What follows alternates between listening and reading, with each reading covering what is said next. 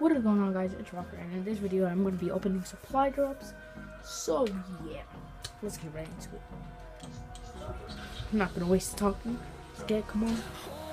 Oh yeah, they added some new, they added something new in the Call of Duty and that's where I got all these crypto.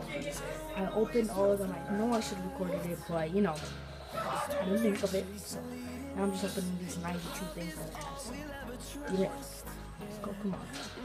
Not that much though. I just a quick video. I haven't made one in a while. So, yeah, guys. See you guys in the next one.